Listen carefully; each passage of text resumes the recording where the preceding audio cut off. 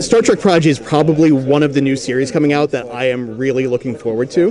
Um, just everything from the animation to the fact that it's a show tailored towards kids, uh, I find really kind of fascinating. Uh, in making the show, what like what were you guys looking to uh, to get out of it, either personally or for the audience watching?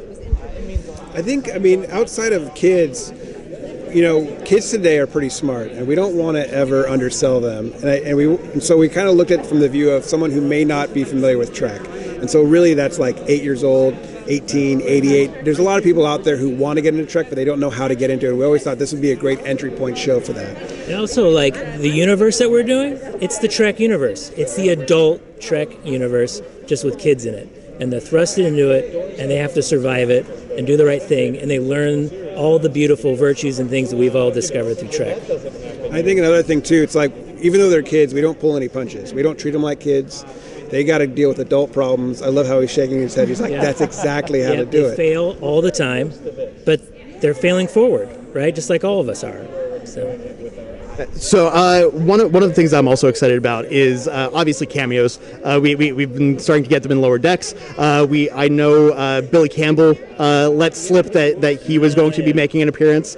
Um, is there anyone else that you guys are able to hint that we could at? slip. I wish. I wish we could. I wish we could. There's, if you only knew what was inside these tiny brains. There's, there's a lot of really, really cool things. It's a, it's, they're going to go on a long journey, and we don't want to spoil the little mile markers like that they're come disco- across. yeah, they're discovering Trek. How are you going to discover Trek without characters of Trek or Exactly. alien species of Trek or entities, you know, of Trek? So. All right, well, maybe a question that you can answer. Uh, we we know, or I think we know, that the uh, the ship that they find is in the Delta Quadrant. Yes. Uh, so Janeway, as the uh, the emergency training hologram, uh, has been on the ship. So obviously she was involved with it somehow.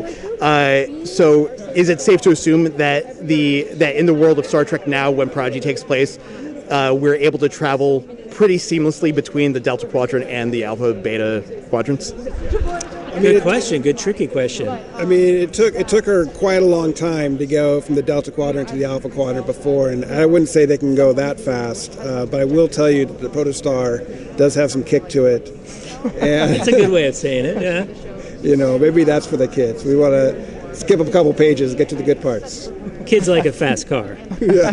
Yeah. Gotcha. So, uh, also, this is the 55th anniversary of Star Trek. It's been a cultural staple since it really since it premiered. Um, where has Trek come to you guys in, in your lives? Like, obviously, you're working on Star Trek now, uh, which is amazing. But how has your ha- has your personal journey at all been affected by Star Trek when you were younger?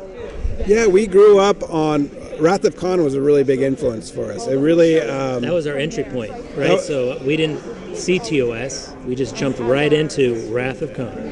And honestly, like I, we can honestly point to that Ceti eel moment where that thing goes in uh, Chekhov's ear, where we were like, "This is outer space! Like what? Oh my gosh!" And, and it was so different from Star Wars that it really kind of got us thinking even after the movie, and it's kept Yeah. us thinking. Spock dying at the end. I mean, they went for huge, dramatic, emotional swings. You know, where sometimes some Trek episodes don't do that. It's a little more cerebral and less heart. But our entry point in was that cerebral plus that heart. And we loved that. That- That's why we fell in love with Trek. And so I think when you start watching the episodes of Prodigy, you'll start to see that. That along with the brains, there's a lot of heart. That was great. Well, thank you so much for your time. I really appreciate it. I'm really looking forward to the show. Thank you. I appreciate. It. Thank you.